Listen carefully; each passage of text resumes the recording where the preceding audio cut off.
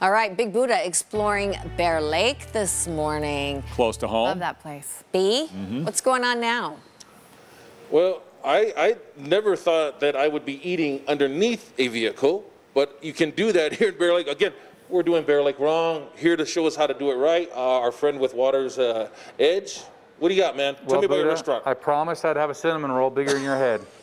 This is a two pound Cinnablock is what we call this. That's tough to do. I have a big noggin, Well, for sure. you know, it is. Yeah. But look at that cinnamon Look, roll. Does, any, does anybody even finish? Is that for the whole family or for one Well, person? We're kind of hoping you'd be the first to eat that all by yourself. So we made that for you. That's okay. We'll have to do that another time. That'll take me forever, Yeah, forever. we've got Uh, time. But let, but where, where does the garage theme come from? So uh, my son Cody, Cody's Gastro Garage, Mm-hmm. he and I are big hot rod fans, and we just like the classic cars. So we thought, why not theme the restaurant after a hot rod Harley theme? Okay.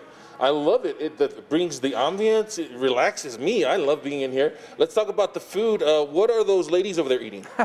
Well, I'll tell you what, we have the sweetest pancakes you'll ever have. We bring the pancake. It's just, just amazing and sweet. Then that's our version of the uh, huevos rancheros. It's done a little bit that differently, is so it's easier to Nacho share. Mama's nachos. Nacho, Yes. Nacho Mama's nachos. I That's right. love that. Oh yeah, we uh, we have a great chef. We spend a lot of time on the menu.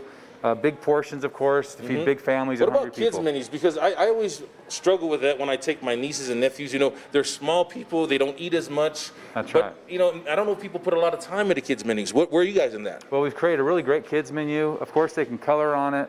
Uh, we have smaller portions for the kids. We have just about everything they can want to eat.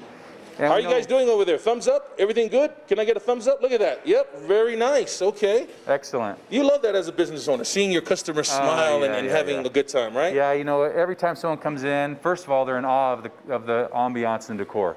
You know, most of the older guys like you come in, they're just looking at the cars, right?